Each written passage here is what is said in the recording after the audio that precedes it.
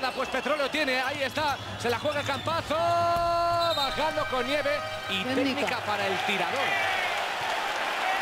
Técnica para el argentino Facundo Campazo por simulación, entiende el colegiado Pérez Pérez.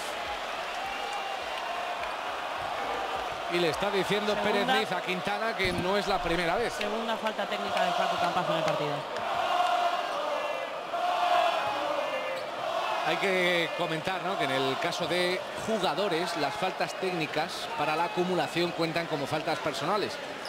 Por lo tanto es la tercera falta personal de, de Facundo Campazo y los tiros libres para Robin Benson. No es así en el caso de los entrenadores, Amaya, ya lo sabes, a la segunda a vestuario se va un entrenador. Bueno, pues corrijo, estaba yo equivocado. Estaba convencido de que era así, Amaya. Pues Facundo Campazo de camino de vuelta a Madrid, me estudio el reglamento, Amaya. No, no pasa nada, pasa nada. 72, 73, 58.